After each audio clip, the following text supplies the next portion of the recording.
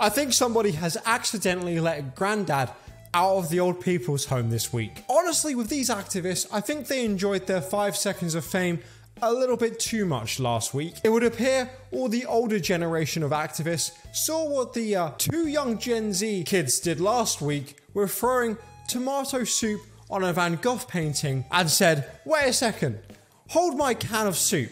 Let me outdo these Gen Z kids because this week it seems like they've gone completely out of control, spraying houses with nacho cheese, pieing the royals in their face, reenacting the famous Beatles photo when they're walking over that zebra crossing in London, and also the good old fashioned gluing their hands and sticking it onto stuff like it's a Mr. Beast video, and the last person to take their hand off of the item wins the item. Oh, they've really done it all this week.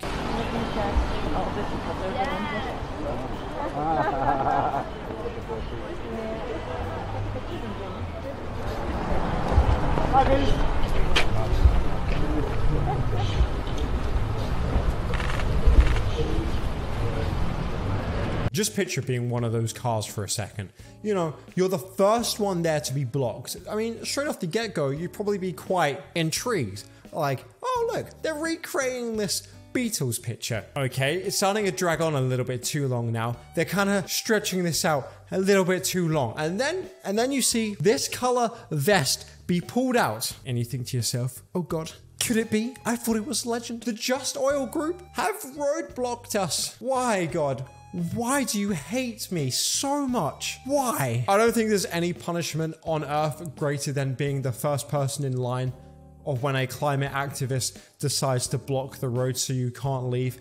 You know, that little tunnel of light of you almost being able to escape, but not quite because they've glued themselves to the road. You've just finished work after a long day, but at least you can get home early and relax. Nope. Looks like you're sleeping in the car tonight. I guess there are some perks to that. You're already halfway towards work. It makes the journey a hell of a lot quicker for tomorrow. That's really as far as the perks go from this. I can imagine it being quite annoying if I'm going to be perfectly honest with you. Although I don't really know what the excuse of people on mopeds is, considering when they're blocking it, you could easily squeeze between these people. I like to think some people just like to watch it as the shit show really goes down and people start losing their patience very quickly. Honestly, especially in a place like London, where I used to live near, English people only really invented patience a few weeks ago. So we're not the best at really trying to keep a level headed when it comes to stuff like this. Hence, with the majority of videos coming out are literally English people picking them up like ragdolls and throwing them to the other side of the road. I can't really blame them that much.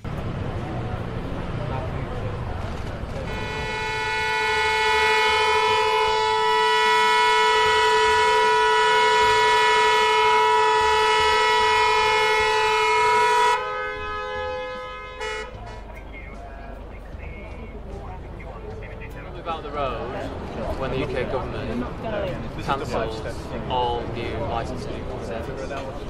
I love that. We'll move up the road the second that the UK government stops all their oil production and just stops using oil. I don't know if these activists really realize switching to a different form of energy will take a little bit longer than switching your internet provider. I, I feel like this is something that would probably have to be years within the making. Well, Ablaze, we don't have years to wait. You can't really win because at the end of the day, now we're getting closer to winter. You're going to have to use those fossil fuels at some point to keep you and your family warm, but they don't want to hear anything like that. They just want a quick fix right now. They don't actually particularly care that the planet is even being destroyed. They just want to get their point across and for you to change it immediately. I don't understand this way of thinking personally. Have you also noticed as well, the majority of people that do these types of things, like Granddad at the beginning of the video, are old, retired pensioners. It seems like they kind of somehow got the younger generation to join in. A bunch of these literally look like year sevens have skipped out on school and decided to take part in a protest. Everybody needs a hobby or a after school activity club, I suppose. For me, it was either playing rugby or football, but I'm a simple man. This seems a little bit too extreme for me. Also, it actually requires leaving the house. And as we all know, YouTubers don't leave their house.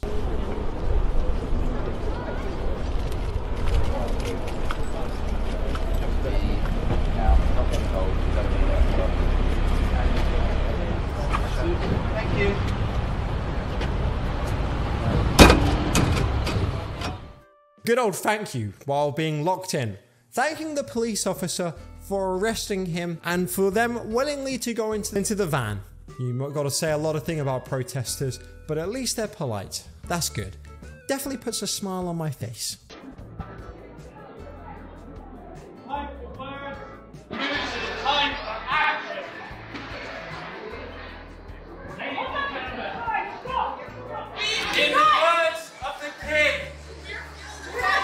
Ah, would you look at that, guys? King Charles got pied. What an epic prank. Nobody is safe from these activists this week, guys. They're targeting everybody. Um, I think someone should let them know in the comments, though. That wasn't the real King Charles. Good try, though. Nearly got there. Now, in this next clip, I saw that these activists actually went into a car showroom and decided that it would be an actual great idea to super glue their hand, which, by the way, guys, I'm, I'm sure everyone is no stranger on how glue is made in factories with oil. But anyway, that's factual facts. You can't bring that into the argument.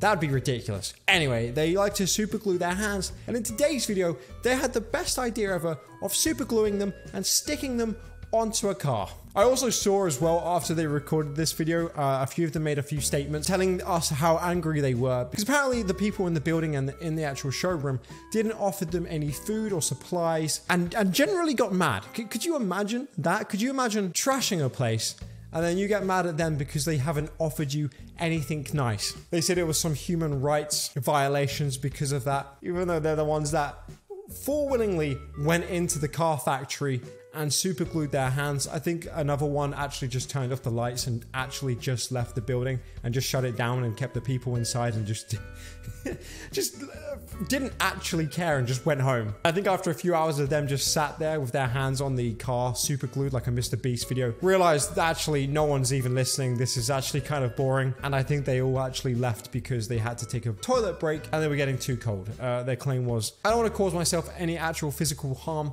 but yes, this is actually a very important cause. See guys, if as long as you don't give this any attention, uh, they don't really care, matter of fact. You know, if all these cars just drove around them and no one came, no one would care after a few minutes. They would all go home. It's all about that five minutes of fame, I'm telling you.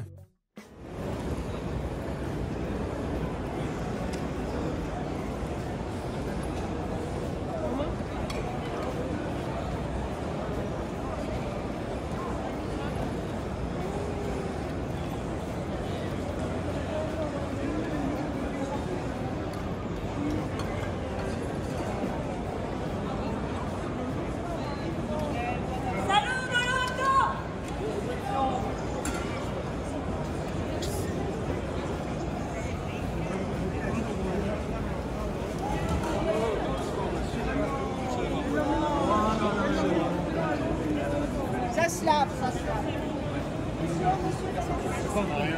Salon de.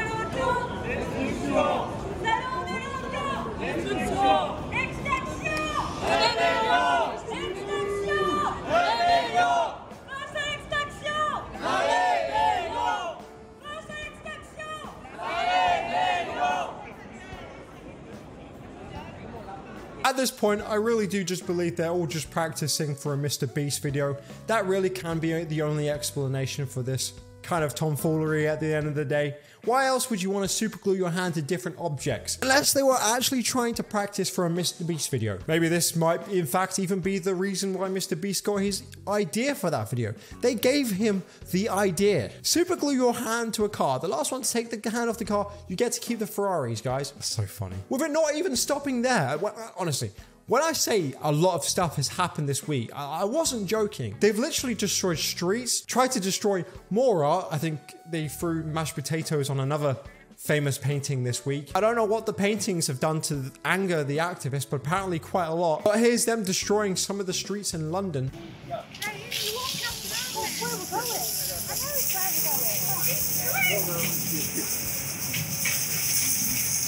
What are you doing? I don't know why you're going to get of fueling the climate crisis right now in Pakistan. Millions of people have lost their money.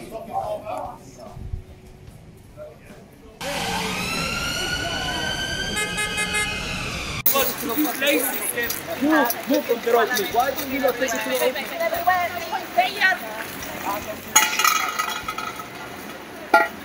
No, people got places to be instead of f***ing wasting time.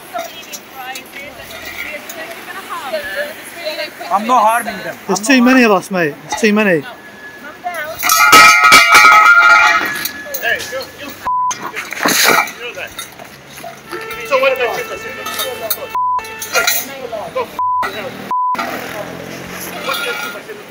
Idiot! So yes, quite a lot has been happening. Now with this last video that I wanted to show you, earlier I think it was yesterday, some activists went into a gallery and decided to throw more stuff at paintings. It's like taking your family out for a day out trip but trying to somehow turn that into an extreme sport. Because apparently going out with your family now and just seeing paintings isn't quite good enough. We've got to change that and make it a bit more interesting. And that's exactly what they've done.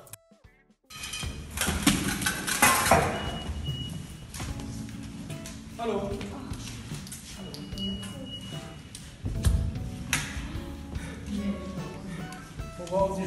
Menschen hungern, Menschen frieren, Menschen sterben. Now, guys, I've got to be honest. Whenever I hear that people are starving and freezing to death, the first thing I think about, those paintings in those British museums really piss me off. How dare they? No, honestly, guys, hear me out. Those paintings are in there, in that building, with heating, not freezing. Us as people are freezing. I think it's just absolutely unfair. How come paintings get heating and they're going to be perfectly fine in buildings, but I'm not this winter? Those paintings are, they just shouldn't be above me. Is around about the response you'd probably get from one of these uh, crazy people. But anyway, that has been this week of stuff. Uh, normally, I don't really cover these types of topics on my channel because there isn't normally that much to cover. They normally glue their hands to the roads, and that's really about it. But this week, I don't know, they've been really creative and doing all sorts of protests. So, hope you guys enjoyed today's video, and now you're all up to date on what's been happening with all the protests this week. Hope you guys are having a good day nonetheless. Remember, if you're out in public and you see someone wearing a reflective jacket, be cautious. They could be a protester. Make sure you drive in front of them and get past them before they block you for an entire day. But anyway, boys and girls, I'll see you all in tomorrow's video.